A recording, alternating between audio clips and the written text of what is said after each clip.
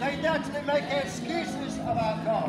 When people walk in the dark, they naturally turn to religion. Yes, When Jesus is people good. walk in the dark, they will naturally think that they are all right without Jesus.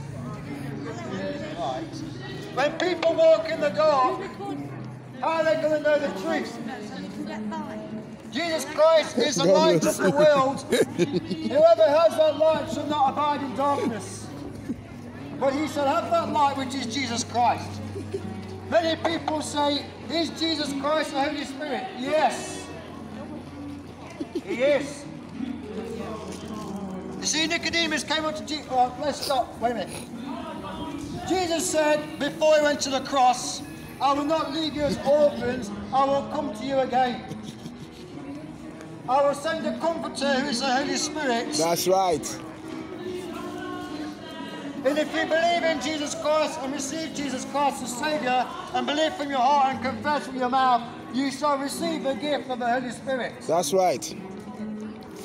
Nicodemus was a, a righteous man, a religious man, a knowledgeable man. He thought he knew everything, just like religious people do today. Hallelujah. But there's one thing he didn't know, and that is that he needs to be born again. Oh, yes.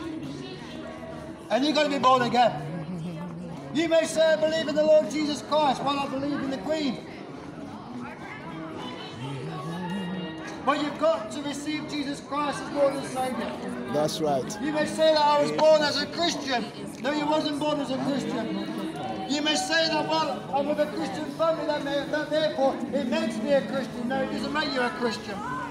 You may say, well, I read my Bible from back to front. You may say that I'm a good person. You may say I never did anything wrong. Well, that's not going to get you right with God. It's not going to get you an entrance into heaven. Hallelujah.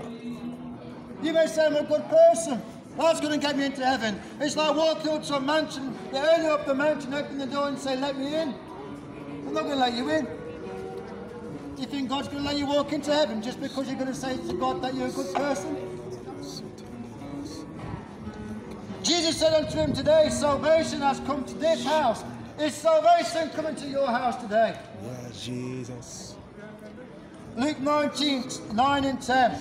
Jesus said to him, Today salvation has come to this house, since he also is a son of Abraham, for the Son of Man came to seek and to save the lost.